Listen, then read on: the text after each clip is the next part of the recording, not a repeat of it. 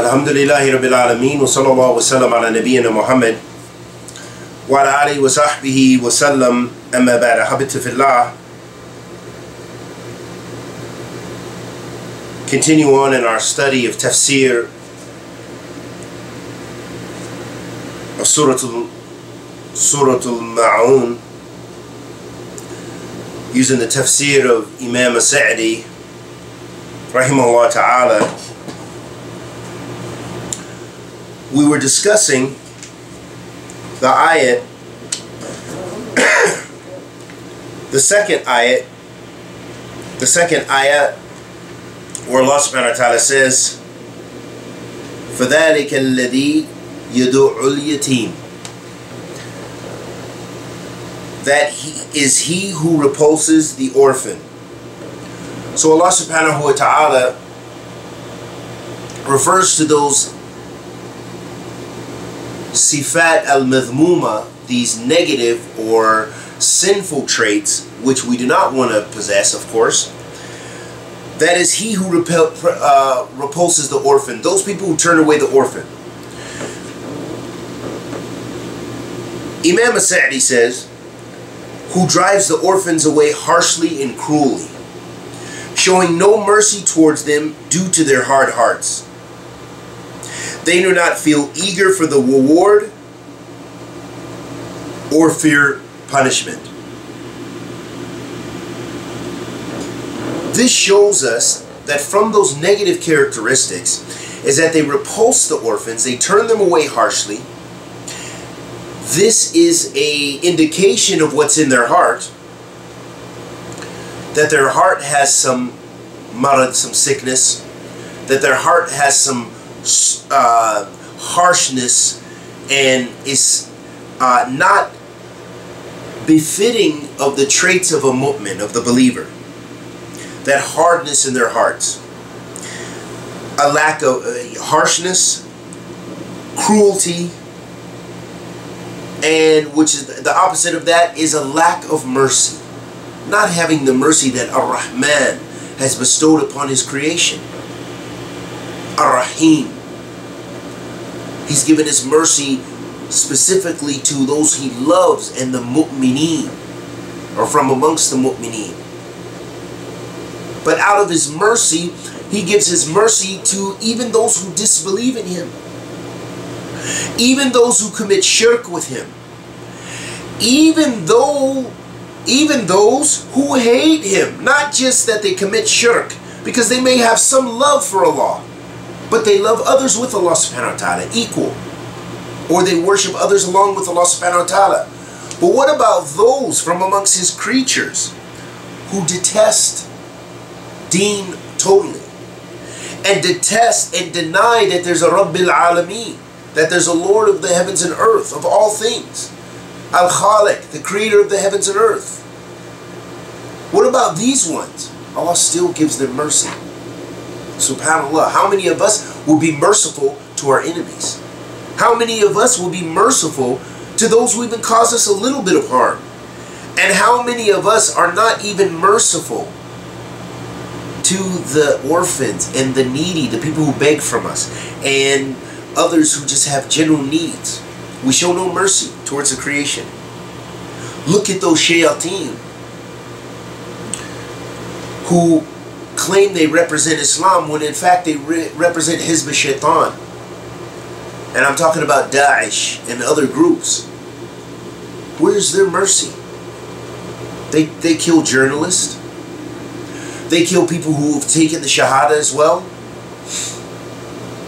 They kill civilians all the time of every ethnicity, every nationality, every religious persuasion.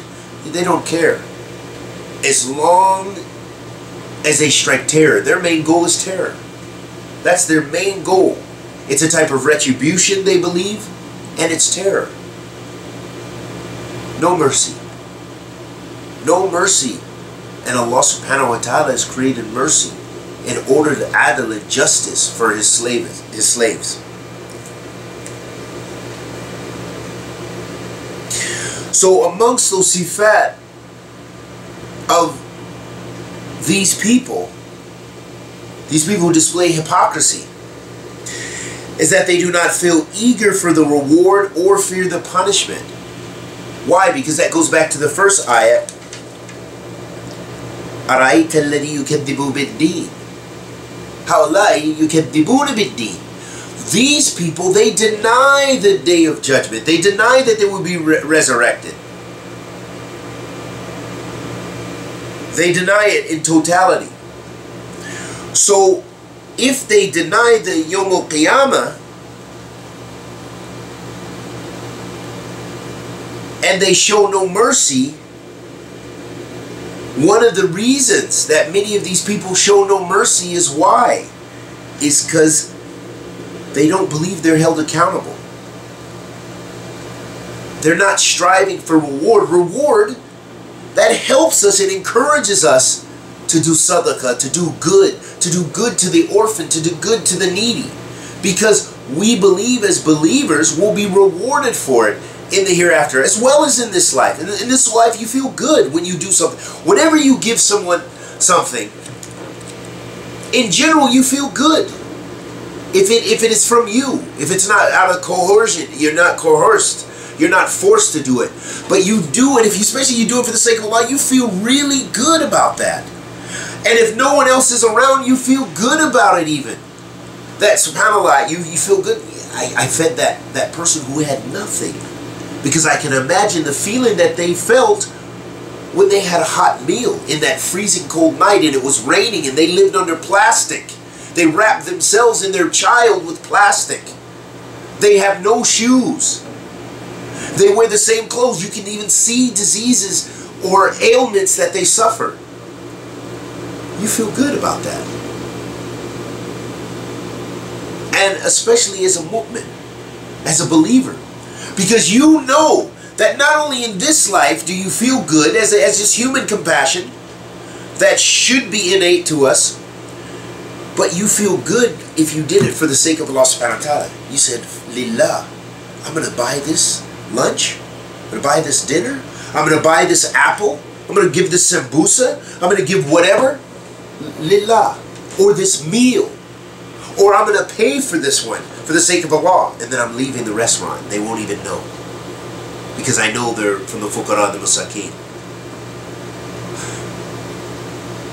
The people who deny the ba'th, they don't have those extra motivations to encourage them to do khair. Because they don't believe there's a reckoning and they believe it's live now.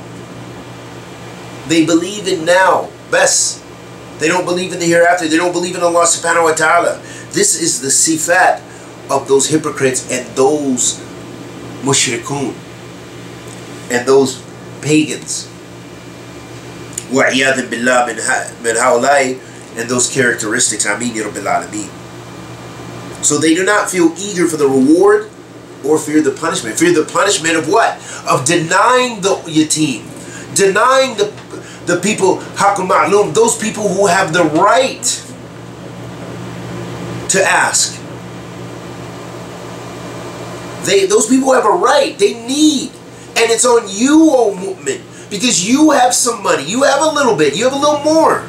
You might not be wealthy, but you have a little something extra. You can give to them. But you didn't give to them. So don't be like these people. Because they don't fear a punishment, because they don't believe there's a punishment. And they don't, they're not eager for reward, because they don't believe there's a reward. They believe it's just here and now. And urges not others on the feeding of al-miskin, the poor. Imam Sa'di says, and consequently, they are more worthy of not feeding the poor themselves. Meaning they urge, they don't encourage other ones, of course, because they don't do it themselves. And what's even worse is those people who discourage that. May Allah protect us from those characteristics. They discourage people from feeding and helping. So I want to encourage myself and my brothers and sisters because in the West, it, around the world, we every there's you'll find people who need.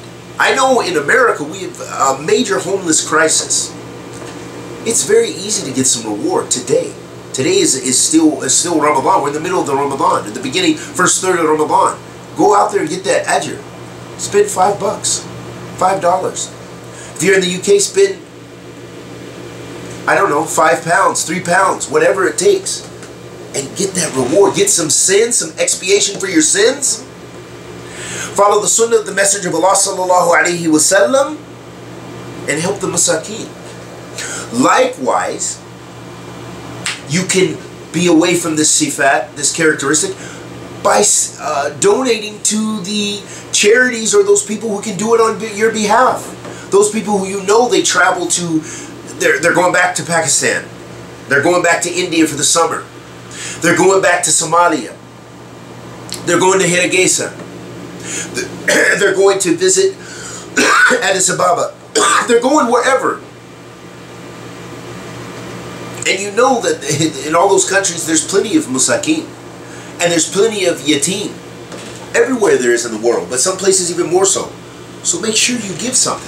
And do it now in Ramadan. Do it before you don't know you're going to die. Spend a little bit of that.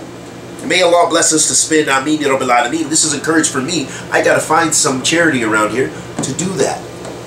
This is time. We don't know. And we need the forgiveness. And then Allah subhanahu wa ta'ala mentions the next characteristic that we got to avoid. Or characteristic.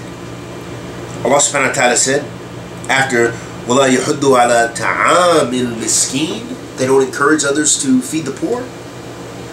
فَوَيْلٌ لِلْمُصَلِّينَ Woe to those who pray. La ilaha illallah. Woe to those who pray. Woe we know is a strong word. Denoting a curse denoting that there's a stern warning or there's a stern warning about some sin that you could fall into you better be away from.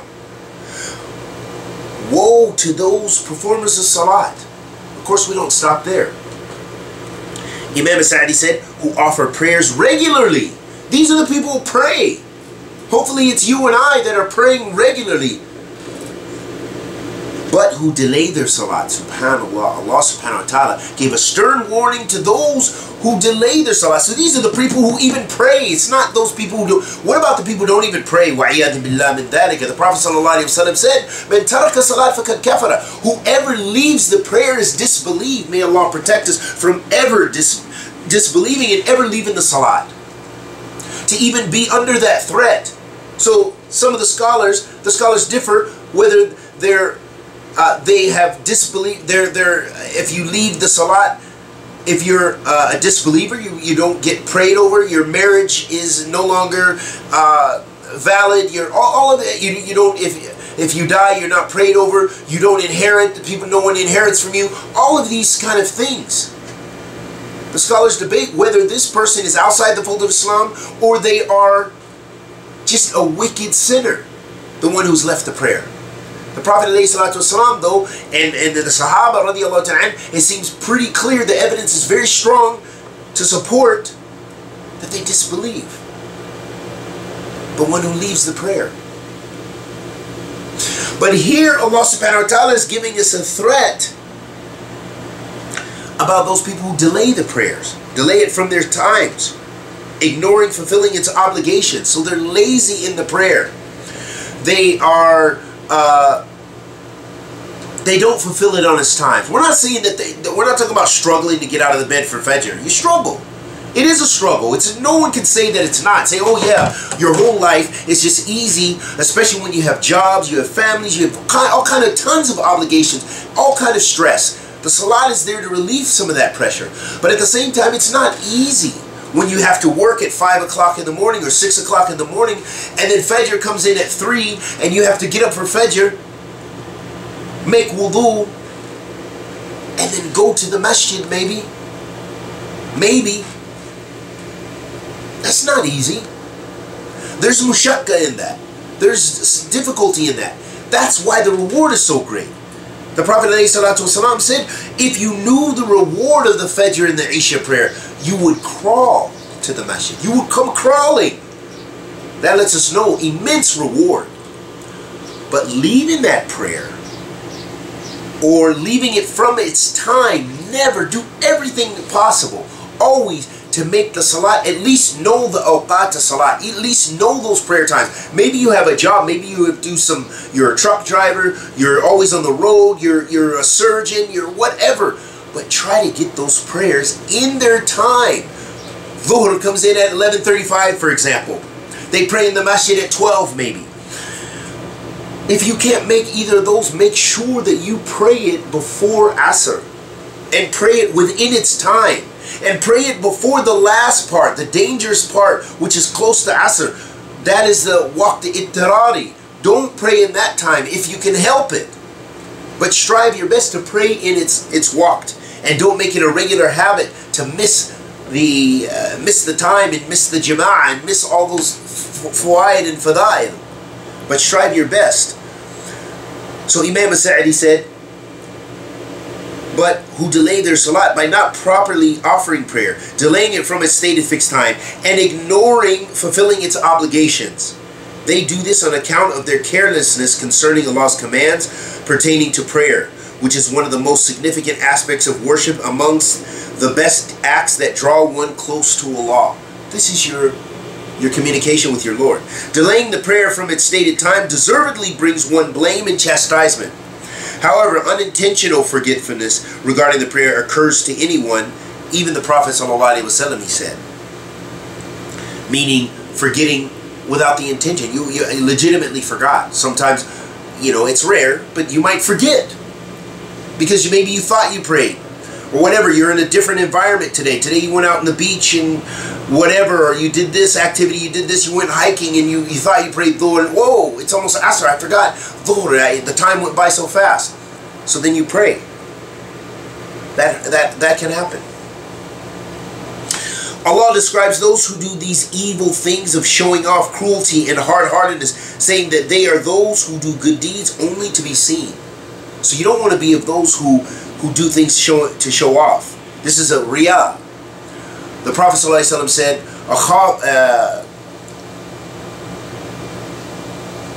أخاف على أمتي الشرك الأسكر وسئل عنه وهو الرياء وكما قال النبي صلى الله عليه وسلم as is mentioned in the hadith the Prophet صلى الله عليه وسلم said what means the thing I'm most fearful of my for my ummah is shirk al-asghar is a small minor shirk it's called shirk minor shirk and then when it's asked about it it's called a riyah which is showing off so if you show off meaning that you're you're doing an act of ibadah but you're doing it to please the people. You make your prayer even more beautiful. The chest goes up, the head is down, and you're just, you know, you, uh, maybe you even, probably not shed a tear, but you, you're doing it for the people, not for Allah Azza wa Jal. You're doing whatever it is, you give the sadaqah, not to encourage the people, but to show off. Yeah, I got it like that. I got big paper, here it is, bow. Oh yeah, yeah, I'm, I'm a righteous person, bow. Here, SubhanAllah, what about the hadith? I guess this tafsir is going to be longer than I wanted it to be. But let's try to get some of these benefits. What about the hadith? I believe it's hadith of Ibn Abbas about the three. Doing the most highest deeds supposedly for Allah. إن الأول الناس يقضى عليه يوم القيامة رجل استشهد فأتي به فعرفه النعم فعرفها. قال فما عملت فيها؟ قال ما قال قاتلت فيك حتى استشهد قال كذبت. ولكنك فعلت لي قال هو جواد آه جريء. فقد قيل ثم أمر به فصعب على وجهه ثم ألقي في النار. The Prophet ﷺ mentioned three on the day of judgment who will be brought before Allah subhanahu wa ta'ala. And one, as we just mentioned in the first part of the hadith, is the mujahid, the supposed martyr. So all these websites and all these magazines and all these publications, all the kalam people, so-and-so is a martyr. We don't know. But you hope that for them if they died doing something fi. But if they died doing a suicide bombing or some evil like this, we could care less about them. And their reckoning is with Allah subhanahu wa ta'ala for blowing themselves to bits and all the damage and evil that they spread, especially outside of combat zones. وَعِيَادُ بِاللَّهِ مِنْ هَؤُلَاءِ مُجْرِمُونَ مُجْرِمِينَ The Prophet ﷺ mentioned three on the day of judgment who will be brought before Allah subhanahu wa ta'ala. And the first is the one who's a martyr. and it will be asked, What did you do for me? And he said, I, I fought for you. I fought for your sake. Uh, and Allah will say, You lied, but rather you did it so the people would say that you were a uh, mujahid. Uh, and it was said. Uh, and then he will be ordered, he'll be dragged into the hellfire. This person did one of the highest deeds. And he was thrown in the hellfire for it. Why? Because of Riyah and Suma, That he was doing it to show off and to be heard, have his name heard amongst the people. And we'll shortly talk about the second